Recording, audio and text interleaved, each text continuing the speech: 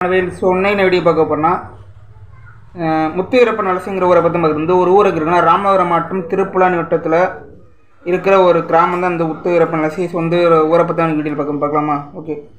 ராமநாதபுரத்துலேருந்து திருப்புலானி வழியாக போகிற திருப்புலானி வழியாக ரகுநாதம் போகிற வழியில் வந்து ரகுநாதபுரம் போகிற வழியில் வந்து திருப்புலானியிலேருந்து ரெண்டு கிலோமீட்டர் தூரத்தில் முத்துவீரப்பன் அலசிங்கிற ஊருக்கு இந்த ஊரில் வந்து சேதுபதி மன்னர் காலத்து அரண்மனையும் இருக்குது அந்த அரண்மனை கட்டும்போது வந்து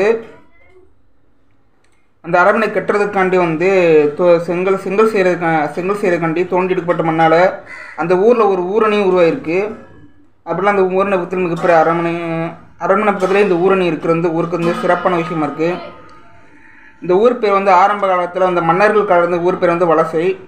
அது பேர் அதுக்கப்புறம் அந்த ஊர் ஊரோட பேர் வந்து முத்து வீரப்ப வீரப்பன் வலசைங்கிற பேரில் மாற்றப்பட்டுச்சு இது காரணமாக இருந்தது வந்து முத்து வீரப்பனுங்கிற மாவீரர். அவர் பிறந்த நாள் தான் அந்த ஊருக்கு வந்து இந்த சிறப்பு கழிச்சு அதோட வரலாறு இந்த வீடியோவில் பார்க்க போகிறோம் பார்க்கலாமா? ஓகே. திருப்பூர்லேருந்து ரங்கநாதம் போகிற வழியில் வந்து முத்துவீரப்பன் வரிசைக்கு பக்கத்தில் வந்து இடிஞ்ச ஒரு அரண்மனை இருக்கும். இந்த அரண்மனை வந்து செல்லத்தேவர்னு அழைக்கப்படுற விஜய ரங்கநாத சேதுபதி அவரோட தலவாய் தளவாய் தாமோதராம் பிள்ளை தாமோதராம் பிள்ளைங்கிறவர் வந்து என்பவரால் கிபி ஆயிரத்தி எழுநூற்றி அறுபத்தி ரெண்டில் வந்து கட்டப்பட்டுச்சு. ஆரம்பத்தில் கோட்டையை பயன்படுத்தது பிற்காலத்தில் அரண்மனையாக பயன்படுத்தப்பட்டுச்சு. அது மட்டும் இல்லாமல் வந்து இது வந்து மன்னரோட அந்தப்புறமாக பயன்படுத்தப்பட்டுச்சு. பயன்படுத்தப்பட்டுச்சுங்கிறது இந்த அந்த முத்துவீரப்பன் வலசை ஊர் மக்களோட வாய்மொழியாக இருக்கிற வரலாறுன்னு சொல்லப்படுற சொல்கிறாங்க சரி ஓகே. இந்த முத்துவீரப்பனுங்கிறவர் யாருன்னு கேட்டிங்கன்னா இந்த முத்துவீரப்பன் வலசைங்கிற ஊரில் பிறந்தவர்.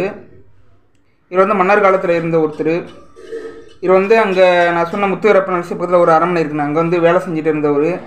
அப்போ வந்து ஒரு நேரத்தில் ஒரு நேரத்தில் வந்து ராஜா வந்து ஒரு வேலை சொல்லிக்காக வந்து பண்ண முடியாது சொன்னதுனால ராஜாவோட சொல்ல நீ மறுத்துட்ட அதனால் உனக்கு வந்து தண்டனை கொடுக்குறேன் அப்படின்னு சேதுபதி ராஜா வந்து சொல்லியிருக்காரு. அதுக்கு வந்து இந்த வீரப்பன் வந்து என்ன சொல்லி இந்த முத்துவீரப்பன் என்ன சொல்லியிருக்காருன்னா நீங்கள் எதை சொன்ன கொடுத்து தண்டனை கொடுத்தாலும் அதை ஏற்றுக்கிறேன் அப்படின்னு சொல்லியிருக்காரு.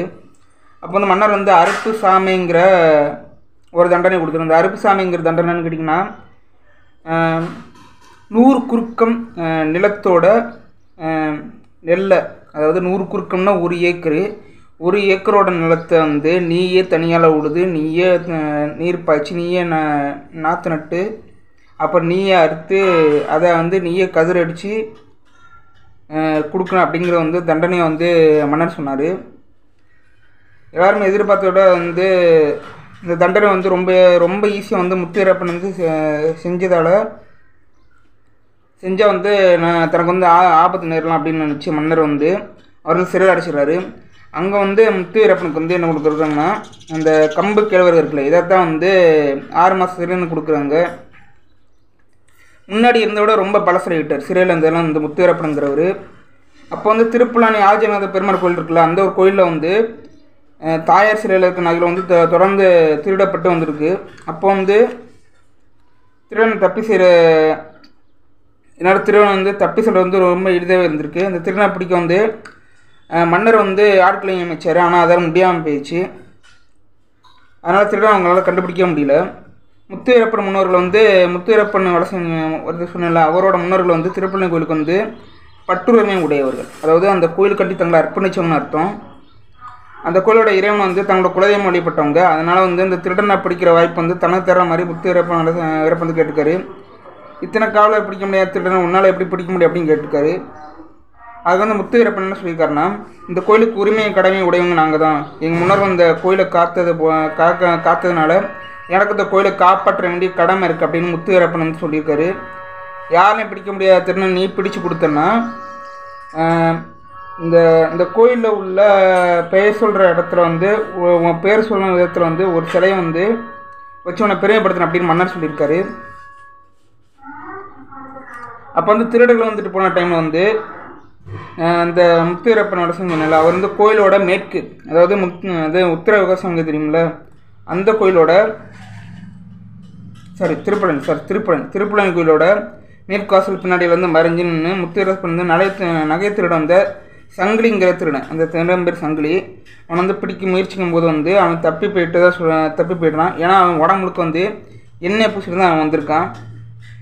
இதை ஆனாலும் முத்துவீரப்பன் அலசி வந்து முத்துவீரப்பன் வந்து விடலை. அவர் வந்து இங்கே அந்த இடத்துலேருந்து ஒரு மூணு கிலோமீட்டர் துரத்திட்டு போய் ஆனைக்குடி உப்பளத்து ஓடை பக்கத்தில் வந்து தப்பிக்க முடியாதபடி அவன் கொண்டே வந்து முடிய பிடிச்சி கொண்டே பிடிச்சிறாரு.